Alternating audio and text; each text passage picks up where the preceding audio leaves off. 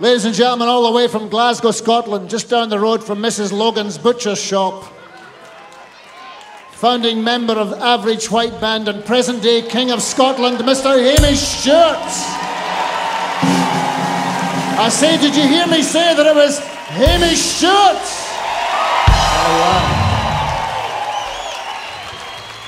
Thank you, Colin. My Majesty. Whatever. I had to wait for Idi Amin to die, though. And then they said, you gotta have it. Um, I'd like to play a tune for you right now that was written just a couple of miles from here, over in a, in a house above Franklin, which we lived in in 1973 for about three months where we wrote all these tunes, and this was one of them for the first Atlantic album. It's, uh, I'm sure you recognize it. If you don't, you recognize it somehow because you probably subliminally heard it somewhere. Uh, and if you don't know it, if you don't recognize it, then you're probably from Area 51. But I won't say anything.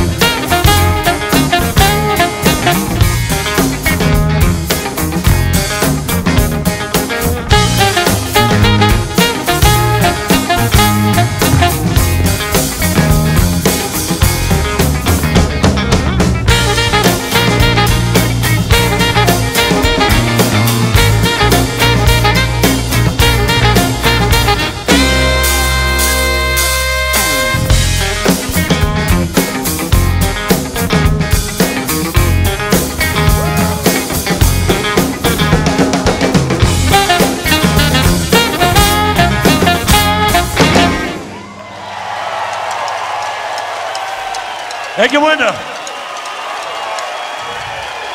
Thank you. Ladies and gentlemen, the song stylings of uh, Mr. Ringo Starr. And the All-Starr Band.